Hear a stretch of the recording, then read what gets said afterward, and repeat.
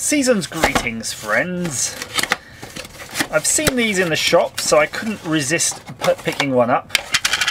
They were available on Amazon, which is where this one comes from, but they are much cheaper, I noticed, in the Saints of Beriz. But this is what they are. They're a festive lights. You've seen them advertised as a festive light, and you plug them in, which I'm going to do right now.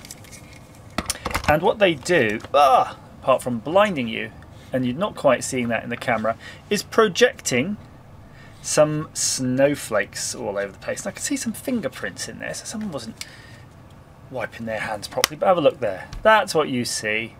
And the idea is you put them in the garden and you fire them at your house and then you get nice snowflakes all over your, your property. And I suppose you can use them indoors as well. And they come with a spike and a wall mount and other stuff. But I was a bit curious to see how they work. And I did notice on the bottom it does have this little panel. So I'm going to start with the panel, but I think we're probably going to have to go in at the end to see where the, the gubbins go. Interesting enough, they have this feature here. I wonder if that's something to do with the bracket. Not to worry though.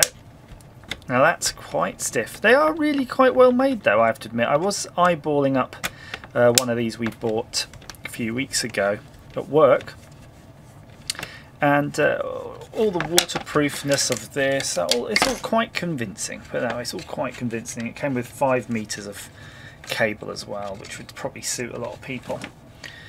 Um, not quite suits my particular location so I was trying to work out if I can buy some extension pieces for it to give me a little bit more but that's okay. Wow so you can see there that panel really is just an access panel. I don't think um, it does anything on this model, but perhaps for other models it allows you to do something interesting. But I will zoom in so you can see in there there are four static images of snowflakes. They're literally just sitting in there doing nothing. And then opposite them there's this, which is a rotating array of um, lenses. Just regular regular lenses. So that's kind of curious.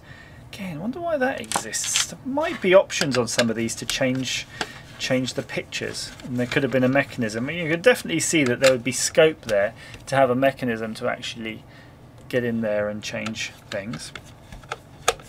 Now we did get a little uh, internal uh, thing that looks like a candle, like an electronic candle, but on the top it has one of these assemblies which uh, shows four different pictures like Frosty the Snowman, a reindeer, Santa Claus and a present and that's all in full colour. So it doesn't have to be a silhouette it could just actually be a photo like you used to get on those those stereo master view master things as a kid if you remember those where you uh, look through them and push that little black lever and go ooh some weird old landmark I don't really remember as a kid caring too much about those I remember playing with them but remember just, just flicking through the pictures as quickly as possible.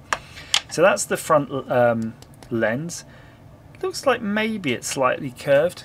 Very good heavy quality and a very nice gasket. So you've got some reasonable chance of this surviving outdoors.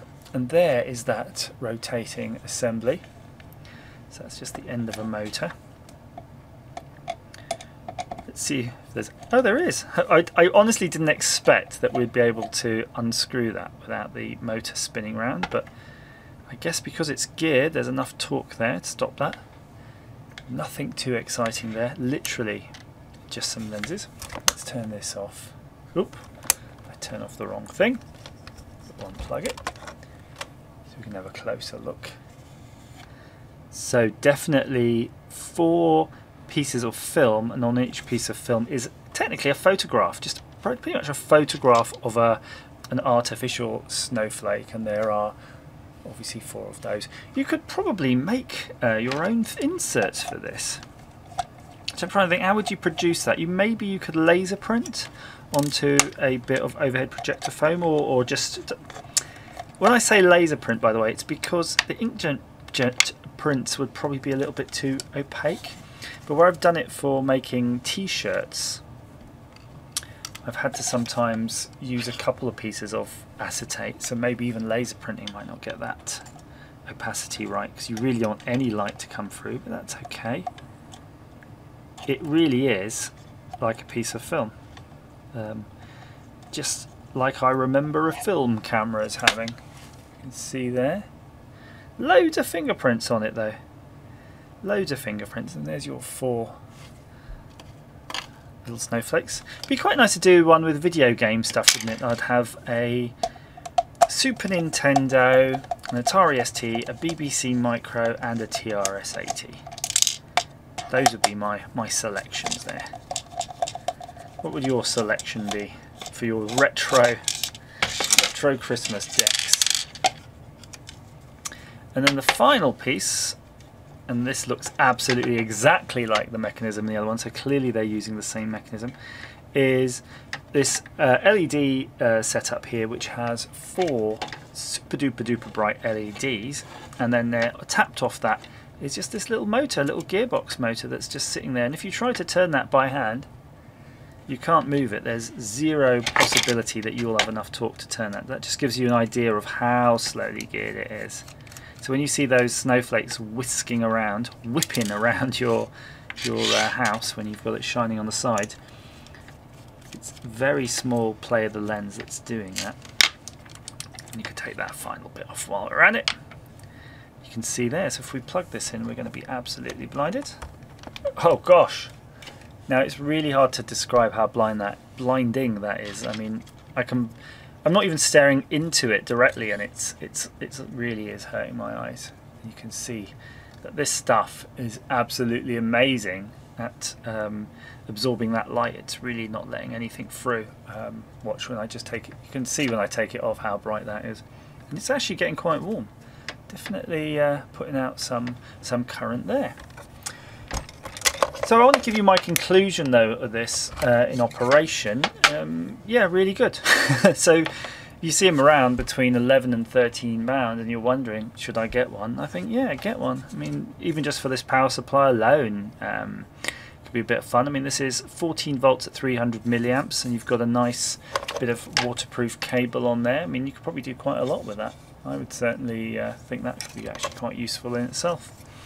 So hopefully that's been of some use to you. I gotta go and put this back together before anybody notices that it's gone. As ever, thank you for watching.